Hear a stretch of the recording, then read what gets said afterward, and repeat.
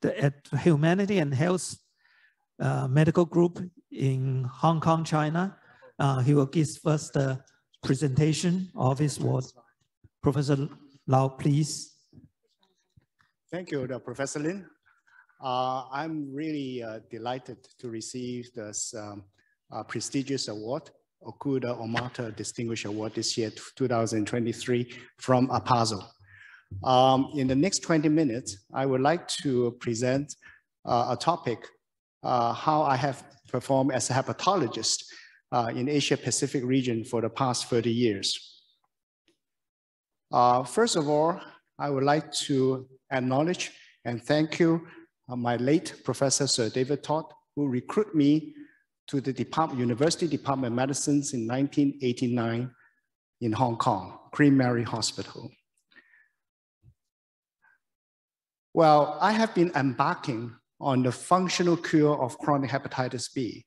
It is a very important topic because with the loss of surface antigens, we can induce durable off-therapy disease remissions in those patients with chronic hepatitis B and reduce the liver-related morbidity and mortality. The initiation starts right here in Taiwan in 2004 when we formed APASL Consensus on the Management of Chronic Hepatitis B expert meeting at Yangmingshan National Park. Learning from my colleagues and also from US NIH KOL meeting in chronic hepatitis B dated back to 2006. These people are all very valuable colleagues to me, my teachers, and we interact intensely over the past 25 to 30 years for to achieve functional cure for chronic hepatitis B. So what is the definitions of a cure for chronic hepatitis B?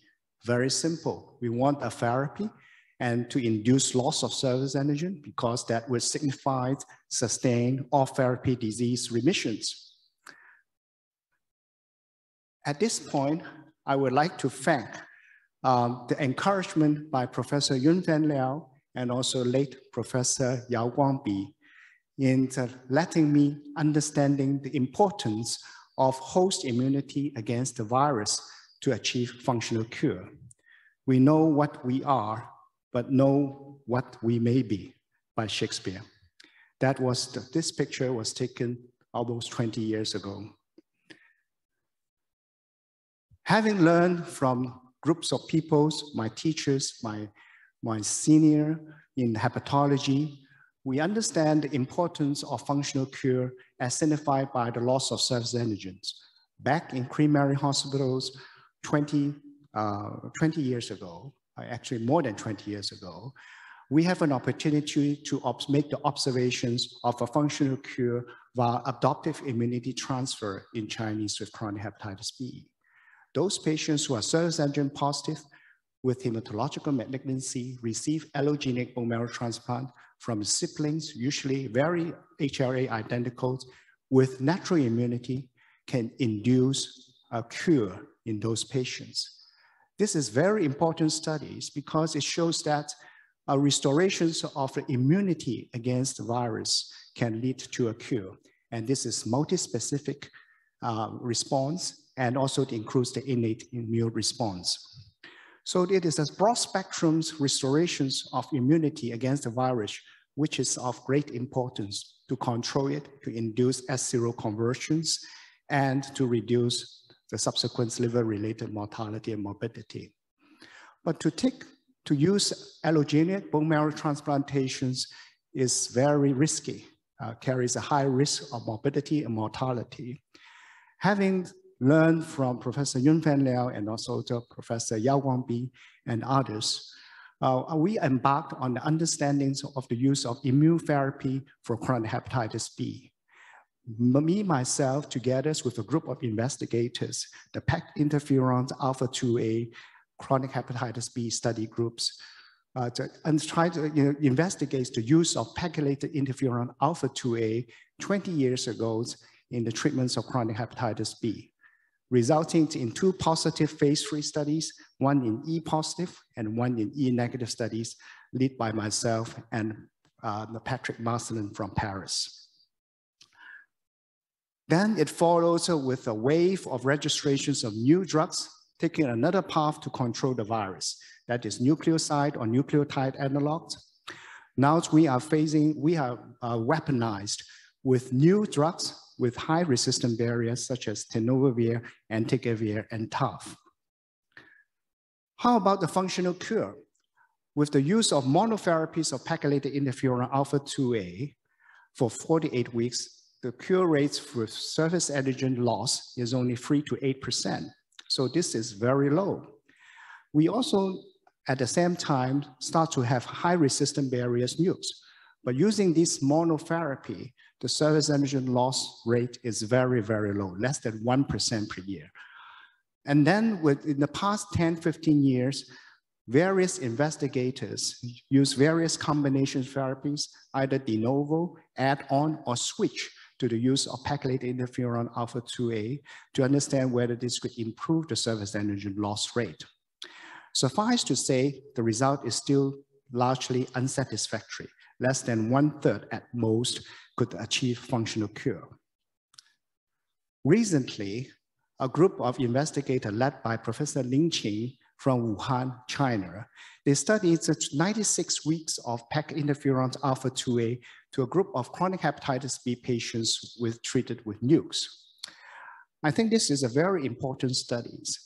They examined 257 chronic hepatitis B patients on NUCs who has been on use for one to five years with serum HBV DNA less than 1,000 copies per mil and surface antigen by quantitations less than 3,000 IU per mil. 80 of them were randomly assigned to the 96 weeks of PEG alpha 2A therapy with a 24 weeks of follow-up. 21 of them, that is 26.3% of those patients have sustained surface antigen loss and therefore functional cure. It signifies the importance of having biomarkers such as quantitation surface antigens, HBV DNA, and in their studies, the core antigen less than four logs, and the presence of surface antibodies, these biomarkers to guide our therapy, to improve the, the chance of functional cure with what we have uh, in our world for the treatment of chronic hepatitis B. And I think these type of work should be continued. On the other hand, new therapies is being explored to try to cure uh, hepatitis B, that is functional cure. But with the lack of complete understanding of the host immunity and the viral life cycle, I think this is very difficult. This is further compounded by recent studies that are published in the New England Journal of Medicine by the B-Clear groups, which is a phase 2B randomized investigator unblinded trials. In essence, a group of highly selected chronic hepatitis B patients were randomized to group one, two, and three. And in the initial 12 weeks, they all received the same treatments of antisense oligonucleotides, BPV. But in these studies, it was amazing to find that even in those patients receiving the same treatment for the same durations of therapy for the initial 12 weeks, they have different results on the surface antigen reductions. Chronic hepatitis specifically, chronic hepatitis B patients on NUCs with surface antigen reductions greater than three logs by 12 weeks, group three, 16%, group one, 34%, and group two, 37%. And this is of statistical significance even if they receive the same form of treatment for the same durations of therapy. So there might be a unknown confounding factor, which is impeding the functional cure of chronic hepatitis B, which needs to be understood. Therefore, functional cure for chronic hepatitis B probably require better biomarkers to make use of the existing therapies to identify subsets of patients of how to treat with NUCs with or without the additions of pegylated interferon alpha 2A, in sequence combinations of de novo, and also to determine the durations. And I think that the incomplete understandings of HBV pathogenesis and the lack of uh, awareness to the presence of cccDNA and integrated HBV DNAs leads to the futile new drug clinical trials none of the clinical trials so far have shown satisfactory results. On the other hand, wider applications, as we just discussed with Dr. John Ward uh, of the CDC US, how we can wider, widen the applications for treatments beyond guidelines as the interims uh, to reduce the morbidity and mortality of those patients with chronic hepatitis B.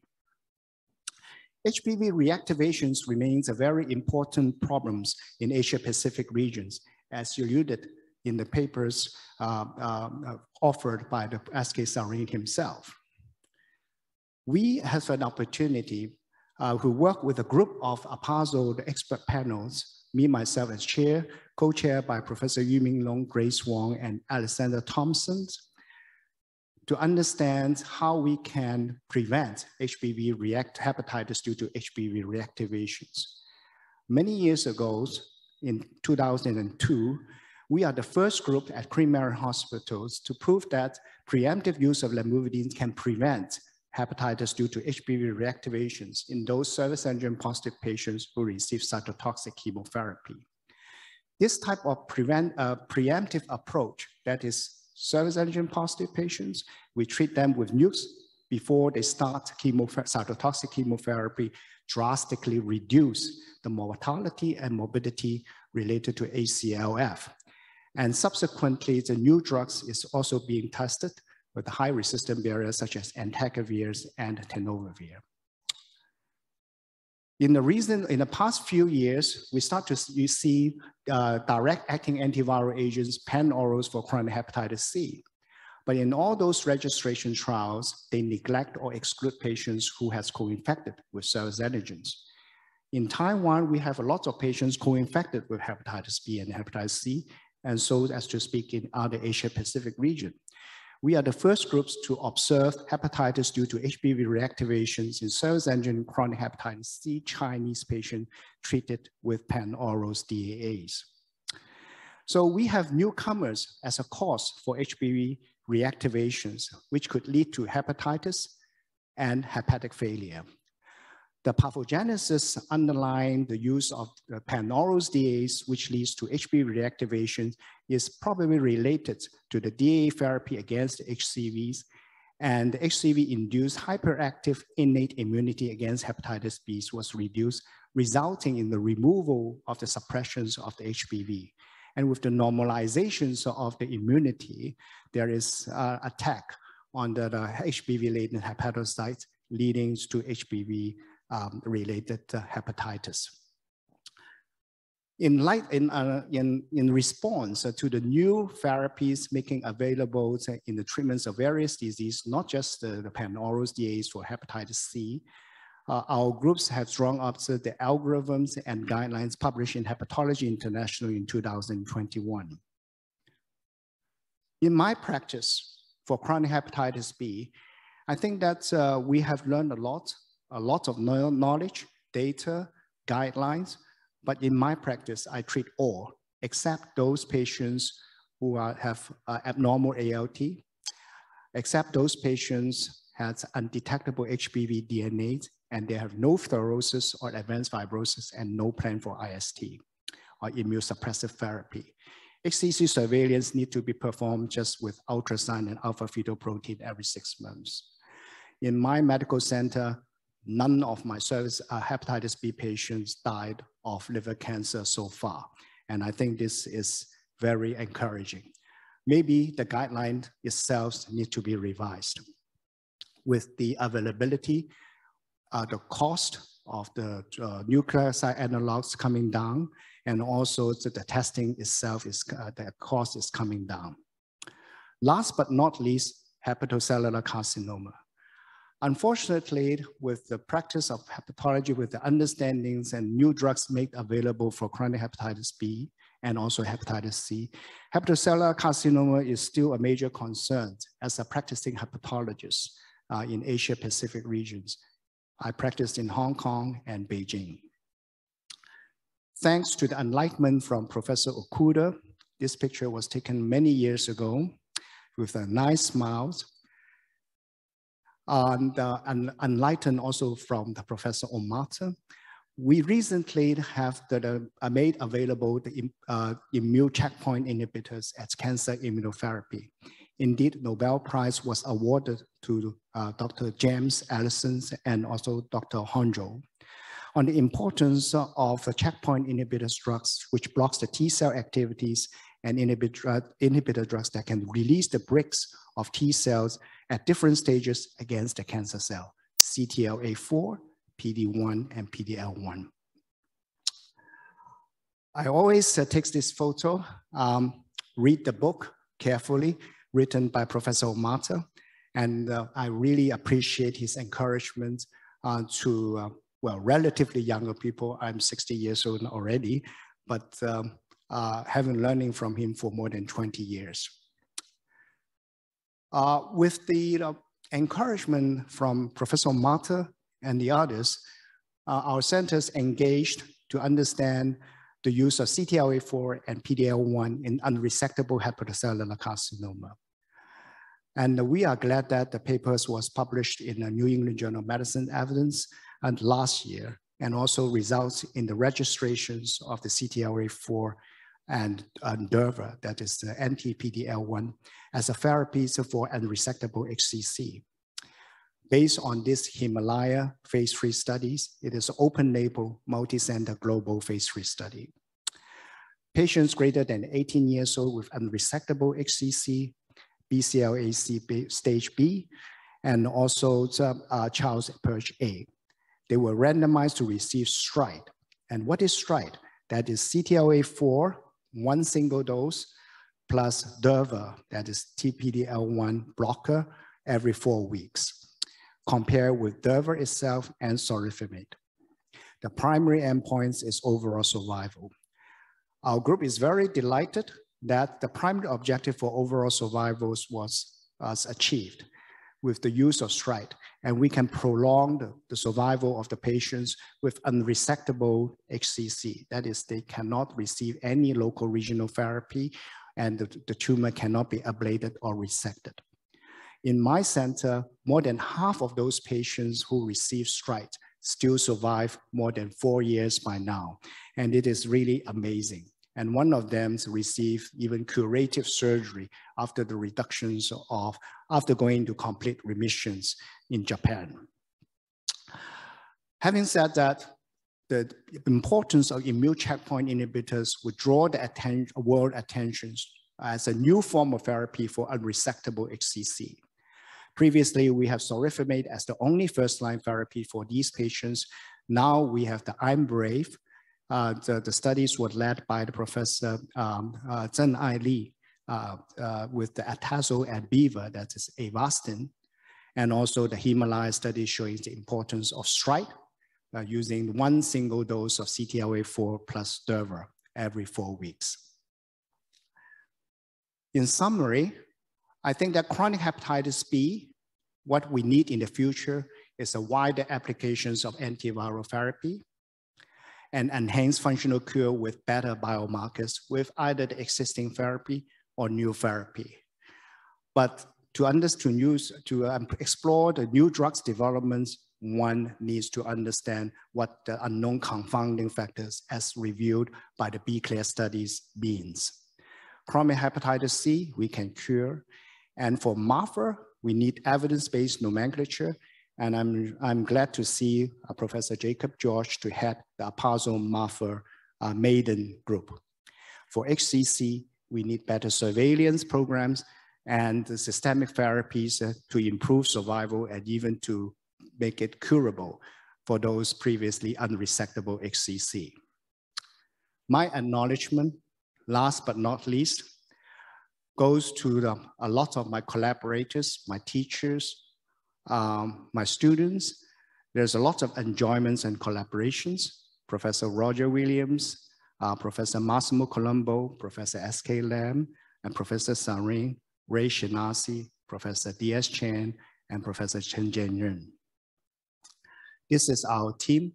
Without their support, what I have done in the 30, past 30 years would be impossible, and with my sincere gratitude to all of them. Last but not least, these are the world, real awardees for this Award. Omata, Okuda Omata Distinguished Award should belong to them. They are practically a pair of twins. And I want to thank my wife, Vanessa, and also Mrs. Omata. This will be my last slide. And this is the topic uh, I use. The greatest scientists Uh, are artists as well. And this, I'm dressed in this manner because my wife asked me to do so. And I believe that good science needs to be based on truthfulness, accountability, and credibility. And this is the pillar stone for the development of APASL. Thank you very much. Thank you very much for Professor Lau's excellent lecture.